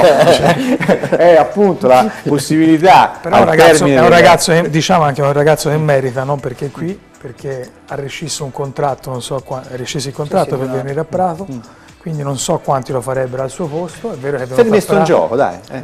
Però adesso Quindi c'è è giusto, è giusto che adesso sta alla finestra. Adesso io ho con Fatto questo 19 108 il procuratore, guarda, eh, il procuratore di Moreo, 19 gol, Eh, ma se 108 ne faceva tre tasca. era più dura, Eh? eh, sicché è stato un ragazzo bravo. stato bravo, messo- eh. messo in ragazzi, quindi insomma sicuramente non gli mancheranno le proposte. Adesso rifarà un nuovo contratto e chissà potrebbe anche rimanere, rimanere a Prato. Serie D o Serie C? Serie, C, Serie D a vincere o Serie C punto interrogativo? Spero Serie C, ma per la società in primis, perché se lo merita. Ah no, io dicevo per Riccardo Moreo. Ah, In C col Prato. Sì, In C col Prato tanta roba, questo Sì, ce l'auguriamo insomma. Vai. Massimiliano, per il ripescaggio ci vuole lo stadio, se vince Biffoni la vedo dura. Vabbè, questo è un altro tema ancora, ne riparleremo se il Prato insomma, acquisisce i diritti eh, per avere la possibilità di giocare in Serie C sicuramente verrà, eh, verrà trovata una soluzione, auspico e spero, visto che a Lungo Visenzio in questo momento non c'è nessuna società che lo sta utilizzando. Poi vogliamo fare un'altra digressione, poi andiamo a vedere le pianticelle, Lorenzo Vitale. Qua si fa un problema di stadio, no? Ma quando ci sono società iscritte con fiduzioni false, che non pagano gli stipendi, Ora, cioè, ma, con ma tutto che problematiche ci sono? Prato eh. è un fiore all'occhiello del calcio italiano, Eh. perché in 40 anni non è mai fallita, io credo sia una delle poche società, Quindi il problema in Toscana ce n'è due, di secondo, di secondo livello. tutto il rispetto. Ritroviamo la Serie C, Con poi tutti. sinceramente, Eh, e vediamo come vengano scritti i regolamenti, perché non venga iscritta una squadra che non ha la disponibilità dello stadio e che venga iscritta una squadra che invece è già fallita prima di cominciare, ma io qualche dubbio ce l'ho. Però le regole sono queste, noi ci atteniamo e andiamo avanti. Diletta. Moreo resta a Prato in Lega Pro. Vabbè, questo ce l'auguriamo. ce l'auguriamo. Poi, ancora. Vai Diletta, via. San Donato affari spenti, ma occhio, ci sono anche loro. Ma certo, l'abbiamo detto. No, si è detto- eh, si è detto qualche settimana fa, eh.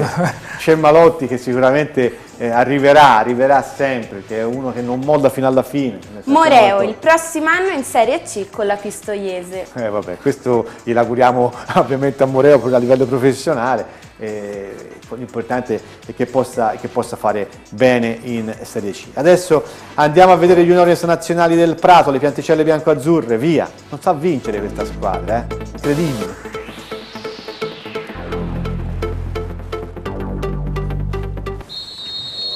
Si gioca a Bastia e il finale di 2 a 2 dopo che il Prato eh, gestirà benissimo la partita nella prima parte, ci sono una serie di conclusioni di terremoto da parte di Casati, poi anche il Bastia prova a rendersi pericoloso ma è bravo il portiere Cecconi a respingere su Del Prete. Poi ancora opportunità, questo è il Del Greco, attenzione al Del Greco, che grande giocata di Del, di Del Greco, il 2002 del Prato, gol straordinario. Ci fermiamo Innocenti, regia un attimo, cortesemente, torna un attimo indietro Innocenti. Guarda che giocata ha fatto questo ragazzo, è un 2002 del Greco, davvero straordinario. Eccola qua, la rivediamo, eccola qua, tac, e la palla che finisce in fondo al sacco. 1-0 per il Prato, il gol di Del Greco che tra l'altro abbiamo anche premiato la notte delle stelle tra le pianticelle biancazzurre. Secondo tempo con il Prato avanti per 1 a 0. Ancora Prato che ci prova, questo è Damiano Terramoto che non riesce però a trovare la via della rete, c'è la deviazione del, del difensore della formazione del eh, Bastia e poi del Greco che tanto bene aveva fatto prima, adesso qua invece si prende un meno per questo errore in fase conclusiva. Ancora il Prato con il portiere del Bastia che esce e con la battuta di Casati che non riesce a trovare il tapin vincente poi ancora il Prato, tamburo battente, vedete il eh, Bastia si limita a difendersi, vediamo questa battuta eh, con la conclusione che porterà al raddoppio ancora di terremoto e quindi 2 a 0 per il Prato. Sembra fatta e invece c'è la rimonta clamorosa del Bastia, qua ancora Terramoto che impegna severamente il eh, portiere avversario e adesso arriva il Bastia che prima trova Cecconi sulla propria eh, strada che riesce ad essere decisivo eh, su Raspa e poi c'è questo intervento che porterà all'espulsione del eh, giocatore del Prato, Dorsi, che verrà espulso e poi la punizione eh, di Del Prete che porterà il risultato sul 2 a 1 e poi la parata di Cecconi su Raspa e nel finale vedete Beffardo al eh, 46esimo è la Bonia a dare il risultato di 2 a 2 al Bastia che riesce a portare a casa una partita davvero incredibile dopo che il Prato ha fallito tante tante occasioni per vincere insomma davvero tanta sfortuna per i juniores nazionali del Prato. Ci dobbiamo fermare opere pubblicitari in diretta ci sono altri sms se ci sono però li leggiamo dopo che ci siamo fermati quindi spazio alla regia poi c'è D'Ambrosio che è pronto perché ci dovrà raccontare tutto del campionato di eccellenza dove non ci stiamo capendo niente, né in cima né in fondo. Vediamo, pubblicità e poi torniamo con eccellenza promozione prima categoria.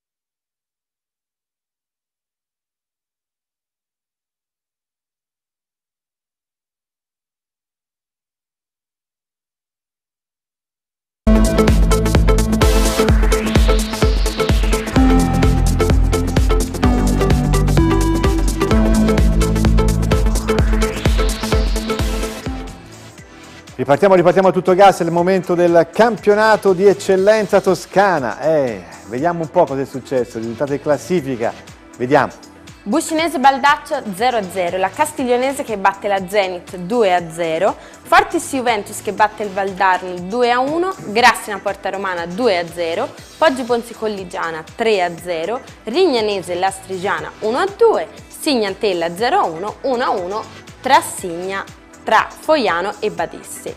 Questo turno ha riposato il Prato Vecchio, mentre in testa alla classifica 63 punti il Grassina, 60 Poggi Bonzi, 51 la Fortis e chiude la classifica il Prato Vecchio a quota 20, Castiglionese 16, Bucinese 15. Allora, eh, il Grassina è in testa a 63 punti, ha una partita in meno, ha già riposato rispetto al Poggi Bonzi che di punti ne ha 60. La novità importante, laggiù in fondo la Bucinese è ultima, quindi oggi retrocederebbe, la Castiglionese la sopravanza battendo la Zenit. È anche vero che 10 punti la Forbice, quindi le ultime due sono fortemente indiziate per scendere direttamente. L'Antella non ci crede neanche D'Ambrosio, ha 27 punti e quindi oggi sarebbe fuori, ma tra le squadre che devono riposare, tra un campionato che ancora deve esprimere tanto, allora, come fotografi D'Ambrosio questa classifica? Ma eh, abbiamo passato un periodo decisamente negativo.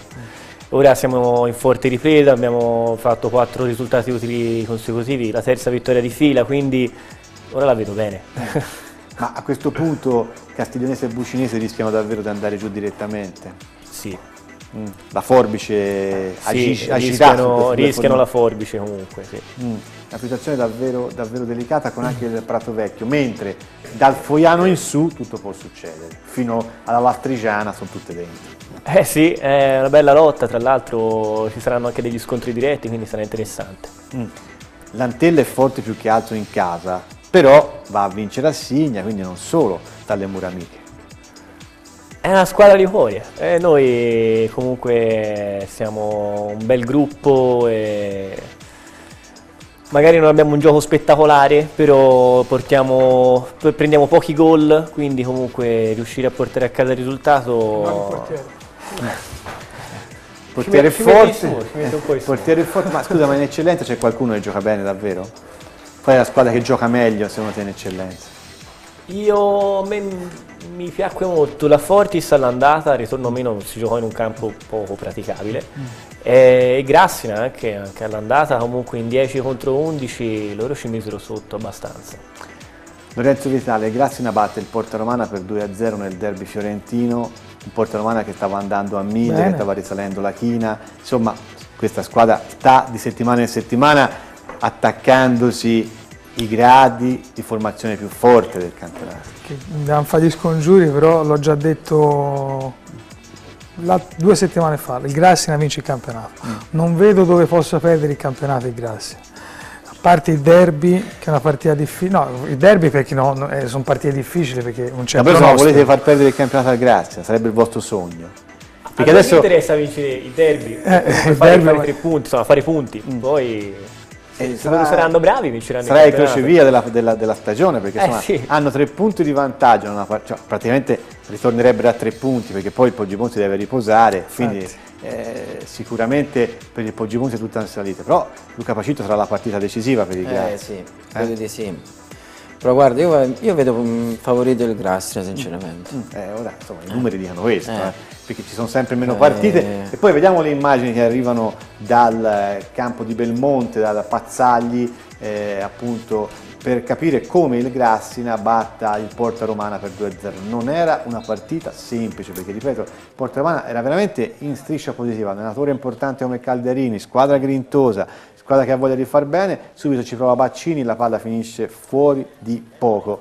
Poi ancora la formazione del Porta Romana che ci prova con Aragoni, eccolo qua, lo vedremo, la conclusione è la palla che finisce direttamente sul fondo. Equilibrio poi al 27 il vantaggio del Grassina con appunto questo cross da parte di Benvenuti, eccolo qua Rocco Benvenuti che la mette eh, all'interno, c'è questa palla che è danza in aria, il colpo di testa da parte di Torrini e la palla che finisce in fondo al sacco per il vantaggio del Grassina.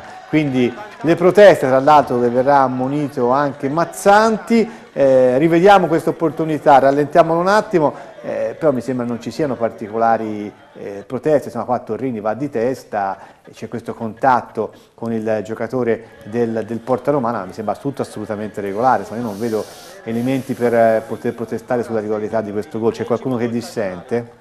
Eh. E poi poco dopo, ecco qua Mazzanti ammonito in occasione delle proteste che interviene eh, a palla lontana, seconda ammonizione e quindi eh, il Porta Romana rimane in 10 uomini. Partita tutta in salita con la formazione di Calderini, ancora il Grassina con Bellini che qua prova a passare, poi Torrini viene anticipato.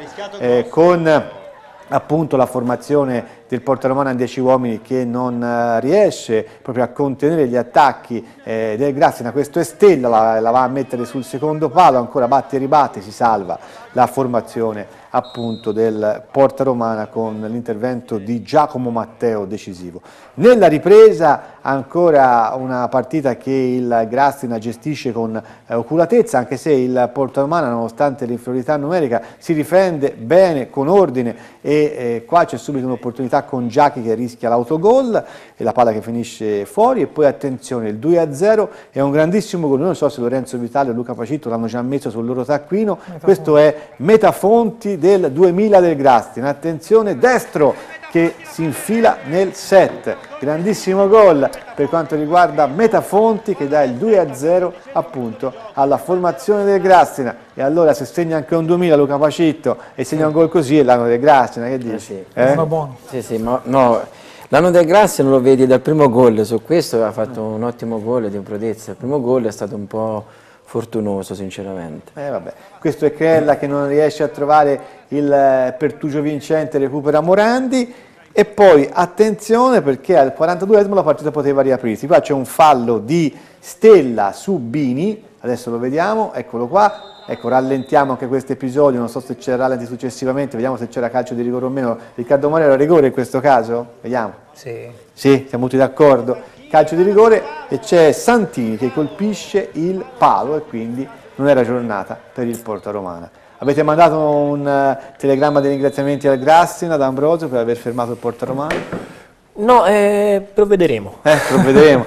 Però insomma il Grassina ha veramente legittimato questa vittoria. Sì, Grassina infatti come ho detto anche prima è una squadra che mi ha impressionato quando ci abbiamo giocato perché davvero anche in 10 ci misero, ci misero veramente in difficoltà. Poi hanno un, un buon gioco ma tante individu individualità anche. Porta Romana che stava attraversando un gran periodo di forma, insomma, poi era un derby, è stata una vittoria che secondo me vale doppio.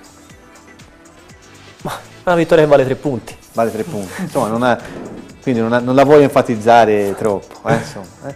Io questo derby grazie Nantella a vedere anche da Ambrosio insomma deve, deve lasciare spazio veramente a grande, a grande, grande interesse. Ma voi dovete pensare a quelle domeniche, eh? eh. per voi una finale ah, Champions League contro la Stiglionese. Eh. Si parlava di forbice, quindi eh. domenica sarebbe Infatti, proprio importante. Una sforbiciata incredibile, una sforbiciata incredibile potrebbe dare. Allora Diletta dimmi. Il Grassina conferma di essere la più forte. Eh sì, direi che in questo momento eh, va in quella direzione del campionato, questo è il gol di Torrini e come diceva anche Pacitto c'è anche una componente di, di fortuna non da poco. Eh, poi chiaramente il Porta Romana si va anche a complicare la vita con l'espulsione di Mazzanti. C'è qualcos'altro sì, di Letta? Vi vittoria molto più netta di quanto non dica il risultato. Vabbè sì, questo sì, abbiamo avuto tante occasioni, si è difesa bene la formazione del, eh, appunto del Porta Romana eh, con il Grazina che poi soltanto nel secondo tempo troverà il gol del 2-0. Migliore in campo di questa gara il nostro inviato era Andrea Labate, che scelto.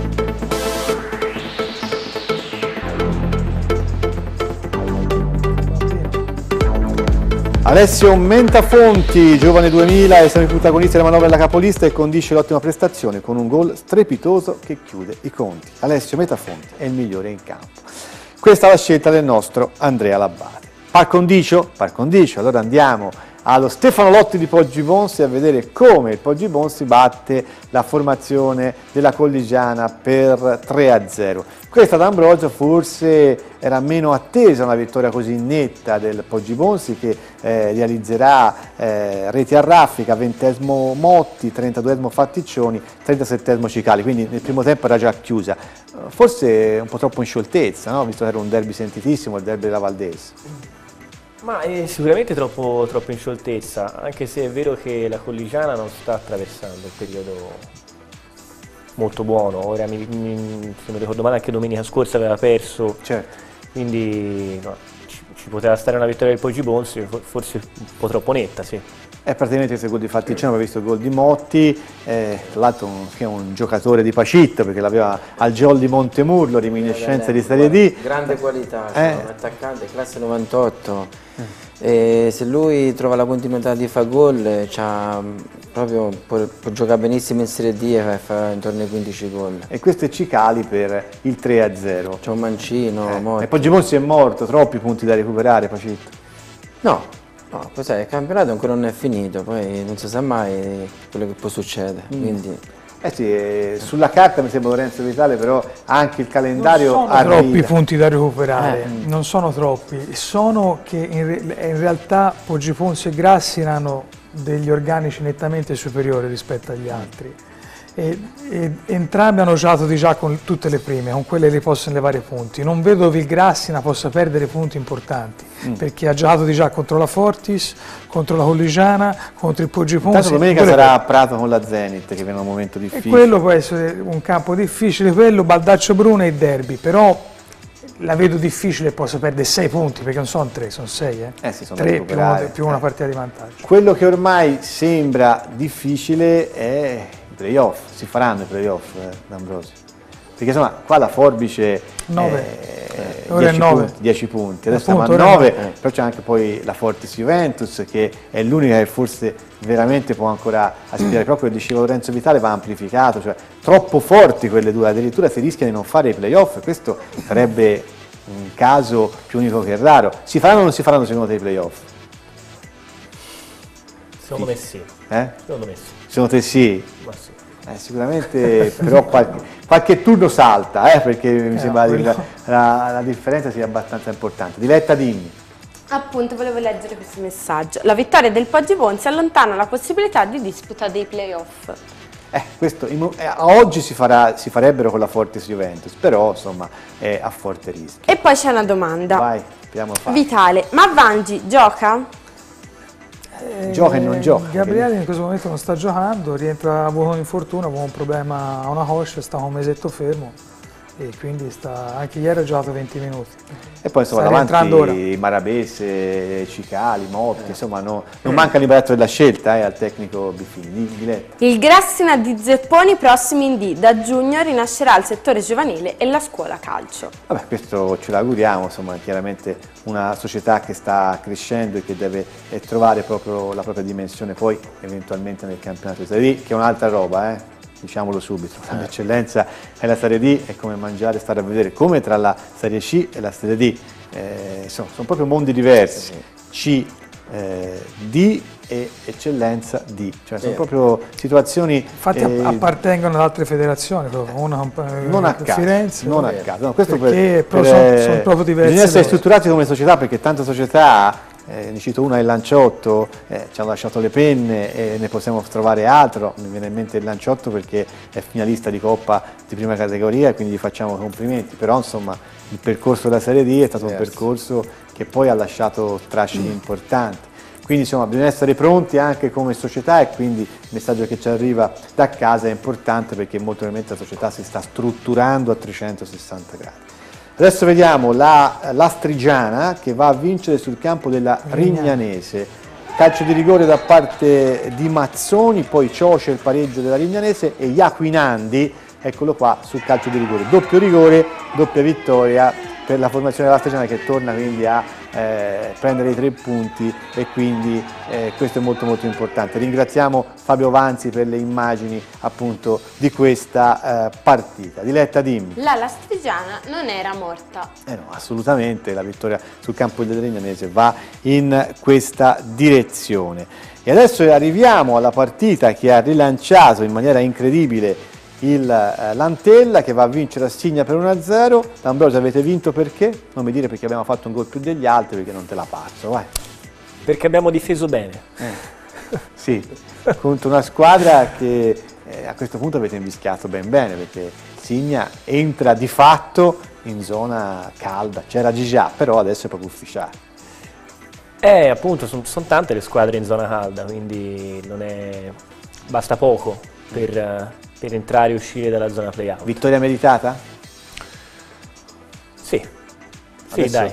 Vediamo gli highlights e poi ti rifò la domanda alla fine. Eh? Vediamo quello che è successo allo stadio del Bisenzio di Signa con questo match particolarmente eh, atteso, intenso, si gioca una bella giornata di sole allo stadio del Bisenzio, buona anche la cornice di pubblico. Si comincia subito al dodicesimo, D'Ambrosio, eccolo qua, veniva il gioco che fatto e ha fatto il paratone, eccolo qua la parata sulla conclusione di Rosi più scena o più sostanza D'Ambrosio in questa parata? Più scena. Più scena, bravo, eccolo qua, però anche sostanza. E ancora il Signa che ci prova con questa battuta e ancora D'Ambrosio con Coppola che carica il tiro e D'Ambrosio che c'è.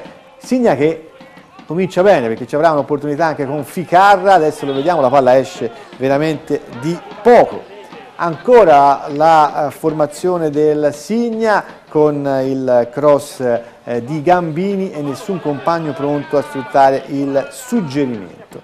Poi la partita cambia, la partita cambia perché c'è questo lancio e c'è appunto Ammannati che va a stendere il giocatore dell'antela lanciato a rete. Per l'arbitro ci sono gli estremi per il calcio di punizione e per l'espulsione del giocatore appunto del eh, Signa Ammannati. Rivediamo questo episodio, intanto un'analisi di D'Ambrogio, era da espellere, eccolo qua. Ma va in porta, quindi eh. ci può stare. Giusta? sì, Che dici sì. Vitale? Tecnicamente sì. Niente da dire, a livello di regolamento anche Moreo è d'accordo, andava, andava espulso. E poi arriviamo al 48esimo quando l'Antella riesce a realizzare con Tacconi che al termine di una mischia scaturita da un calcio di punizione di Castiglione mette dentro il gol dell'1-0 al 48esimo, il gol di Tacconi, un gol particolarmente importante, eccolo qua, bravo a trovare al punto giusto nel momento giusto. Sotto di un uomo, sotto di un gol, mamma mia che tragedia per il Signa di pronunziati dall'allenatore Cristiani nella ripresa, poi la formazione del, eh, appunto, eh, dell'Antella avrà ancora un'opportunità con la conclusione da parte di Olivieri e la parata da parte di Cappelli, poi ci sarà Ficarra invece che avrà un'opportunità per quanto riguarda il Signa, lo vedremo tra qualche attimo, insomma una partita nella quale poi il, la prima parte era eh, sicuramente predominanza del Signa, questa è un'opportunità per Ficarra, la vediamo, la palla che esce al lato e poi ci sarà un'ultima opportunità per la formazione dell'Antella con Cappelli che viene in avanti, avete rischiato insomma, di segnare sull'uscita del portiere del Signa ma ormai eravamo a tempo scaduto. Possiamo dire D'Ambrosio, una prima mezz'ora per il Signa e poi è venuta fuori l'Antella, però l'espulsione di Ammannati ha fatto la differenza. Ah, quello sicuramente. Eh, sì, noi ci mettiamo sempre un pochino a ingranare, quindi il nostro inizio di gara è sempre un po', un po lento. Eh, noi poi siamo stati pericolosi in realtà poche volte, però non abbiamo più rischiato niente. Ecco. Mm. E questa è un po' la capacità delle squadre lalari, eh, che sono... Sono una squadra basca, io per l'appunto l'ho visto mercoledì scorso, la Lastriciana, quando avevi giocato mercoledì. Eh, sì. È una squadra rognosa, cattiva, oh. basca, bella, sì, mi piace, sì, complimenti. Sì, sì, non si danno mai... da categoria, insomma, di quelle che... Diretta, dimmi. Un saluto al più forte portiere in circolazione nei dilettanti da Giammi e Vale. E poi, D'Ambrosio si merita la serie D se non la C. Vitale portalo a Scandicci. no, a Scandicci ci sono. Quindi chiedere a Garaffoni più, che a, a, Vitale di andare a Scandicci. Tra l'altro ci racconti in 30 secondi la tua esperienza americana, no? Insomma, perché è stata anche in America, D'Ambrosio. La mia esperienza americana mm. calcisticamente è stata un po' mm. scarsa, ecco, in mm. realtà abbiamo sono andato a fare una categoria dilettantistica. Insomma, un sogno americano è rimasto nel cassetto. Sì, sì. Uh, c'è sempre, è sempre vivo, però bisogna trovare un attimino i modi per... Ma volevi fare l'attore, mi sbaglio? Qualcosa del genere. Quello c'è che fai. Come fai l'attore addirittura? È... Sì, no, me lo ricordo perché... Fai che come fai dicevo, teatro, cosa fai? Eh, canto, al momento canto. Ah, poi alla fine semmai ci intoni qualcosa. A microfoni spenti, ti Eh, dicevo, sta- eh. l- la prima squadra gliel'ho trovata io perché lui era un giocatore del Fiesole, che lui giocava già da 5-6 anni in categoria, Certo. è un portiere bravo. eh. A Calenzano, era promozione o eccellenza? Eccellenza. In eccellenza a Calenzano. Conosce Quota. tutti, conosce tutti Vitali. Allora, No, vediamo, eh, l'ho, l'ho impazzato io, era il mio giocatore. vediamo chi ha scelto il nostro Lorenzo Agostini come migliore in campo di questa gara, poi diletta con gli sms. Siete giovani bravi, sapete.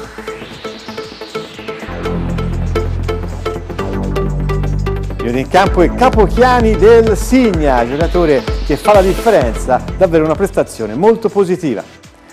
E a questo punto vediamo un po' di immagini di repertorio mentre la nostra diretta ci legge l'SMS, vediamo anche i risultati degli altri. Vai. Buonasera, potete chiedere a Elia D'Ambrosio, detto il Conte, come riesce ad allenarsi nel fango e uscire sempre pulito? Eh, questo fai. Sì, ti vedo molto preciso, eh. Fai. Poi portieri poi nel fango, insomma, eh, come fai?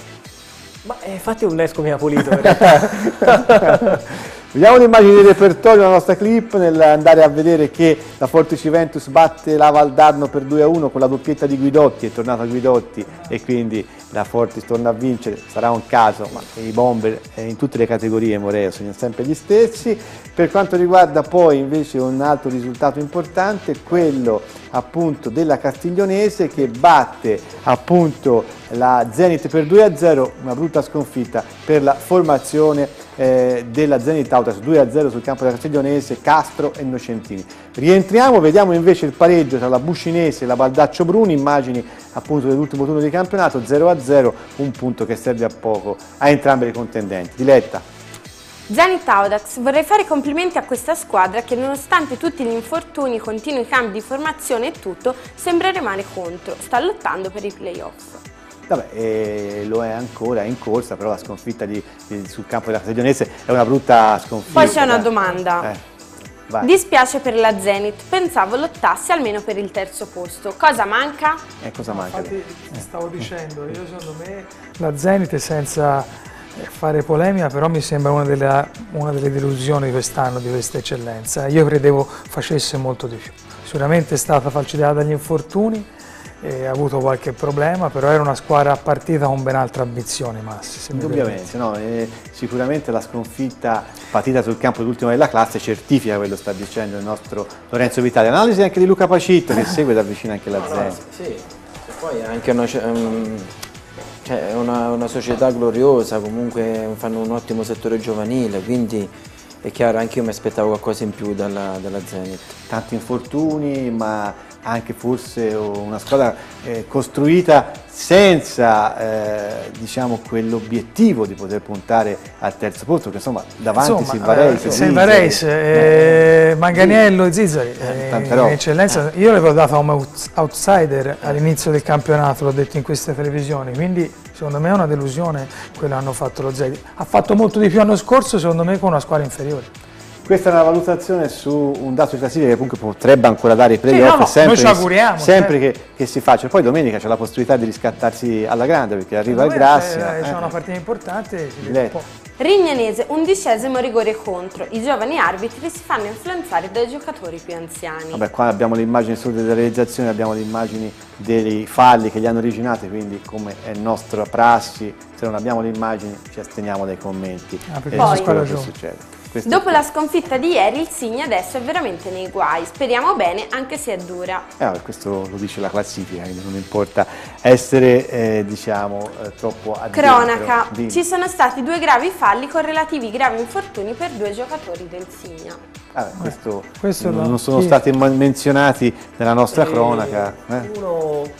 Sì, c'è stato un fallo, ma penso, non so se si è fatto male da solo in realtà. Non so, ero lontano, non, so- non lo so dire. Il nostro Lorenzo Agostini non ce li ha segnalati, ma insomma eh, diciamo, facciamo gli auguri di pronta guarigione ai due ragazzi del Signa che si sono infortunati, però non abbiamo eventualmente insomma, nota di questa, di questa situazione. Ci dispiace se ci sono ovviamente degli infortuni. A questo punto io direi di andare al campionato di promozione, vediamo risultati e classifica. Eh, anche di questo campionato, eh, 23esima giornata del regular season, vai. Jolly Lampo 1 a 2, l'Arcianese Quarrata 0 a 1, Luco Maliseti 1 a 2, 1 a 1 tra Montespertoli e Villa Basilica, Pietrasanta che batte il Calenzano 1 a 0, Sestese che batte il Lammari 3 a 1, Tempio Pontremolese 0 a 2 e 1 a 1 tra Viaccia e, Villa, Real Cerretese.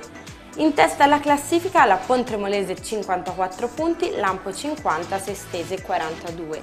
Chiude invece la classifica Lammari e Pietrasanta a 19 punti, Chiazzano 14, Jolly 11. Allora, l'analisi, Pontremolese e Lampo, entrambe vincenti. La Vedi, Pontremolese... vedi eccellenza qui, eh? le prime due mi sembrano nettamente... Eh sì, la Sestese sta, ri...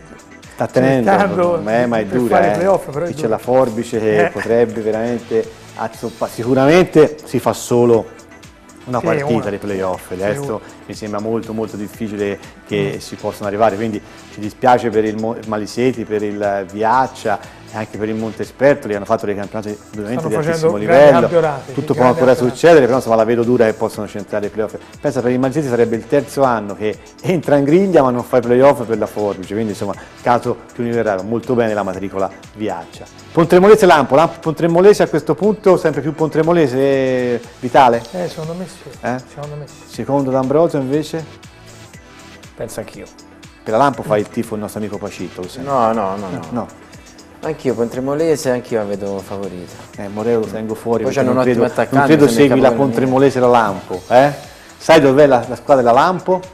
Eh, No. eh, Eh, vedo, eh, eh, no. guarda mi guardava, non è la zip che si tira su, eh, è Lamporecchio, famosa cittadina del Pistoiese dove fanno i bricidini. Hai mai sentito i bricidini? E allora sentili perché quelli sono buoni. Allora andiamo avanti con, eh, quindi facciamo conoscere anche a Moreo tutto il calcio dilettante, questo è il calcio vero, insomma. Tra l'altro Jolly Montemurlo lo sai che è ultimo in classifica, ha giocato a Montemurlo.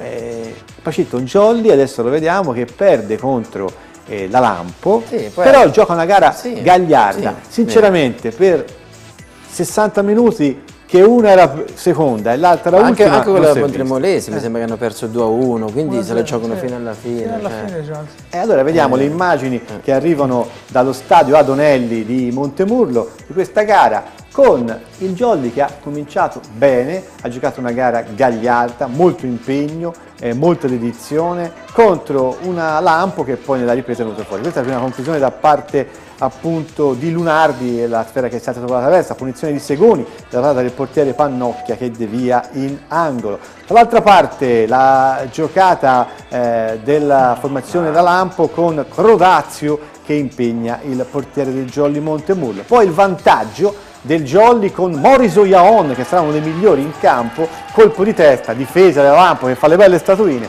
e Moriso Iaon, eccolo qua, che realizza il gol del vantaggio. Dall'altra parte ancora Cerrici prova la palla che esce a lato. Ancora la formazione del, eh, della Lampo con Crodazio e c'è la parata del portiere del Jolly Montemurlo. Ancora la formazione della Lampo che si rende protagonista e qua c'è l'opportunità per Gelli che mette alto. Ancora una partita che vede la Lampo alla ricerca del pareggio, si difende comunque con ordine la formazione del Jolly che poi ci prova anche direttamente su calcio eh, appunto d'angolo, il portiere Pannocchia attento. Ripresa, Jolly avanti, eh? Il Jolly avanti, poi in avvio di ripresa eh, ovviamente la maggior eh, forza della Lampo porta al pareggio con questo tiro da parte di Crodiazzo che appunto mette la polla in fondo al sacco e c'è il gol dell'1-1, poi c'è un gol annullato per fuorigioco ancora a Cerri, fuorigioco abbastanza netto quindi non vi faccio neanche rivedere le immagini e poi dall'altra parte un'opportunità ancora per Lunardi che spara alto e poteva riaprire il match. Poi nel finale eh, tanti errori da parte della Lampo, qua c'è una bella chiusura di Segoni, qua c'è una clamorosa traversa colpita da Bonfiglio. E quindi insomma Lampo che certifica eh, il- la ricerca del vantaggio che arriva, eccola qua, eccolo qua, il gol di Croriazzo che di fatto eh, porta avanti la Lampo e ci sarà il risultato di 2 a 1. Insomma, una Jolly che ha resistito per quanto ha potuto, poi eh, ovviamente la Lampo ha fatto eh, crescere la maggior eh, dinamicità, ma anche la maggior voglia di fare risultato positivo. A questo punto è dura Pacitto per, la, per i Jolly, eh? Sì, sai, non è, non è facile ora. Eh, però ho visto hanno fatto un ottimo primo tempo, eh, perché poi comunque hanno una squadra eh, Lamporecchio comunque che, che è un Lampo che è forte, cioè secondo in classifica, quindi Mm. eh, dispiace perché magari meritavano anche il pareggio. Eh sì, una situazione di classifica che comunque ancora lascia spazio, Sì, sì. forbice permettente Sì. di evitare l'ultimo posto, perché comunque c'è... Ora il- domenica mi sembra giocano a Lambari, no? Se non All'Amba, sbaglio. sì, tutto può ancora succedere, la squadra non c'è, però insomma, Eh. deve chiudere una partita perché fa vedere buone cose, sì. ma non riesce ad uscire eh, con un risultato positivo. Adesso servono punti, eh, insomma, di Esatto. pacche sulle spalle, di complimenti non servono più a niente. Diletta. La Lampo gioca male ma vince, è un buon segno. Eh vabbè, questo indubbiamente ormai Vero, sono lì. perché ha giocato meglio il Jolly, sinceramente. Come sviluppo della manovra sì, però maggiormente eh, insomma, i giocatori maggior eh, È chiaro, peso. hanno più eh. qualità dall'altra parte. Però i jolly dei giovani comunque ha fatto bene per una buona oretta. Un buon jolly, peccato però per il risultato. Bene. Andiamo a segnalare poi per quanto riguarda le Pratesi eh, il Maliseti che vince sul campo del Luco, una vittoria importante, grazie a rose picchianti per il Luco Segna Turchi e la formazione del Viaccia che invece pareggia con la Real Cerretese per 1-1, Bianchi e Cacciapuoti i due marcatori. Mentre la Sestese, come diceva il nostro amico Vitale, batte il Lammari per 3-1, doppietta di Divico e gol di Ridolfi, quindi una squadra ye che vince e continua a sperare nei playoff che sono veramente però appesi ad un filo con quelle due che tradotteranno fino in fondo. Diletta. Questo Maliseti fa sul serio e come? Questo Malesito fa sul serio, però purtroppo la forbice mi sembra troppo attardato eh, rispetto ai secondi della classe della Lampo. Il Viaccia con il Real Cerretese non riesce a vincere. Sì, è vero, anche all'andata è stata una partita sfortunata e quindi insomma eh, la situazione è abbastanza eh, delineata, insomma questo Real Cerretese è un osso duro invece per la formazione del, del Viaccia. Mentre rivediamo le ultime azioni eh, di questa gara, Lorenzo Vitale se dovesse esserci playoff la Sestese potrebbe essere un brutto cliente. Eh, potrebbe essere sì, la scheggia impazzita, cioè una, una squadra eh, nata per, per vincere, dai, si può dire, una società abituata ad altri palcoscenici, quindi se vanno a fare i playoff sicuramente farà pesare la propria storia e quindi potrà dare noia a tutti. Vedremo gli sviluppi eh, di questo campionato, dobbiamo segnalare anche la vittoria del Pietrasanta che batte il eh, Calenzano e quindi insomma si riapre una situazione molto delicata nella zona bassa della classifica. Prima categoria diretta, vai! Girone B. Amici miei che batte il Candeglia per 3-0, Casalguidi batte il Malmantile 2-0, Galcianese Vaianese 2-0, Monsulmano che batte il Tavola 1-0, Iolo CF 0-1, Mezzana San Nicolò 2-0, Piaggia Lanciotto 0-1 e 1-1 tra Doccia e Prato 2000. In testa alla classifica il Prato 2000 appunto a 44 punti, Amici miei 39 e a 38 punti Galcianese, Mezzana e CF. Chiude la classifica il San Nicolò a 23, Malmantile 22, Lanciotto 21. Frazione davvero delicatissima con il Prato 2000 che impatta eh, per 1-1 sul campo di Rinascita Doccia con eh, appunto i gol di Simone e di Rinfroschi per questa gara. Gli amici miei quindi accorciano perché gli amici miei battono per 3-0 il eh, Candeglia grazie ad Allegri Stornani, eh, quindi insomma degli innocenti per questa eh, vittoria che porta a 5 punti il vantaggio del Prato 2000 sugli amici miei. Poi ci sono tre pratesi, la Galcianese che ha battuto per 2-0 la Vaianese con Rinaldini e Di Noto, quindi sicuramente sta facendo bene. Il Mezzana, altra formazione pratese, che praticamente batte il San Nicolò per 2-0 grazie alla doppietta di Giovanchelli e poi il CF 2001 Casale Fattoria che appunto eh, continua a far particolarmente bene, va a vincere sul campo del Loiolo grazie al gol di Lorenzi. 2000 che comunque ha un buon vantaggio. Ora so già che Moreo mi vuol chiedere gli amici miei che squadra è, vero? Lo vedevo, guarda. Dopo Lampo e i Bricidini lui mi vuol chiedere gli amici miei che squadra è. Che idea ti sei fatto Moreo? Una squadra che si chiama Amici miei? Non lo sai.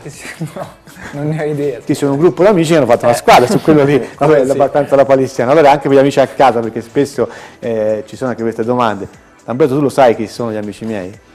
Eh, vedi, vedi, ma qua vi tolgo tutti in castagna. Allora, amici miei è una squadra di Agliana che ha fatto per tanti anni la terza categoria, la seconda, e che tra l'altro annoverava tra le proprie fila anche Corrado Colombo, ex Ah. professionista che ha giocato a Pizzo. Non mi dire Pacitto, non sapevi neanche tu che erano gli amici miei. No, no, non lo sapevo. Eh, vedi, vedi, allora abbiamo, vedi, allora, Morea ha scoperto i brigidini e Pacitto io ha e scoperto gli amici miei. Vabbè, succede anche questo. Vince il Prato 2000 secondo te a questo punto? Anche qui fanno, eh, le- quelle davanti hanno tirato il freno, Eh sì, eh, eh. da un po' non vincano di- con Eh, sì, continuità. e nonostante questo i 7 sono diventati 5, ma nelle ultime 5 partite il Prato 2000 rallenta, rallenta, e rallenta, ma rimane, Ma rimane- sempre in eh, testa. quindi, eh, e quindi insomma ha buone chance. Buone Eh, gli amici miei 39 punti, ma anche loro venivano alla striscia non positiva, ma quello che invece da sottolineare le tre pratesi, Galcianese, Mezzane e Casale Fattoria, che insomma hanno buone chance di eh, poter comunque continuare a rimanere in zona playoff. Diretta se non c'è altro. Da quando è venuto in trasmissione Diodato, il Prato 2000 non ha più vinto. Eh vabbè, siamo un conto tendenza, ai ai ai ai. Allora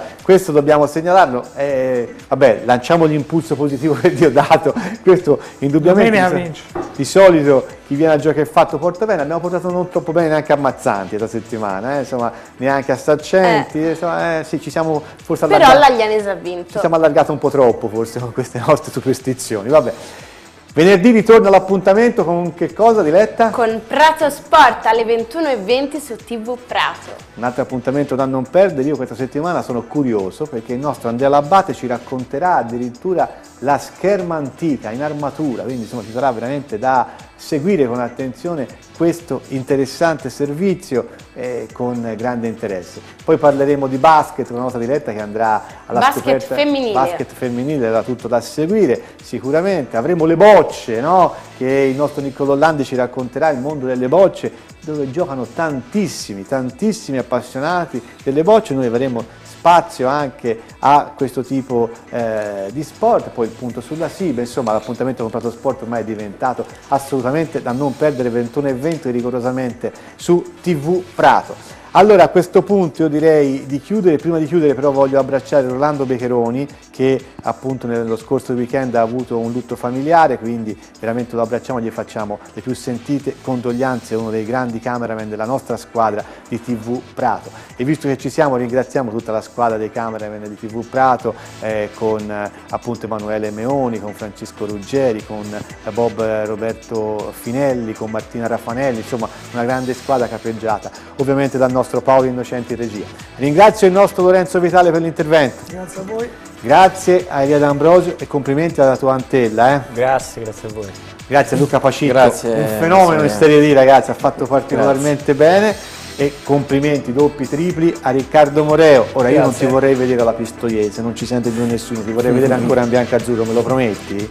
Certo. Eh? Vabbè, stai incrociando le dita da qualche parte, vabbè, vediamo, vediamo. Perché c'ha il 108, abbiamo scoperto cos'è anche il 108 stasera. Facciamo anche didattica, non solo calcio, abbiamo scoperto anche cos'è il 108. Ha scoperto gli amici miei, Lamporecchio e il 108, eh, è meglio di così, non si poteva andare. Grazie alla nostra diretta di Grazie a voi per tutti i messaggi. sono stati veramente tanti, grazie di cuore, l'appuntamento è rimandato quindi lunedì prossimo perché il grande calcio dilettanti è solo qui da noi, alla prossima, ciao!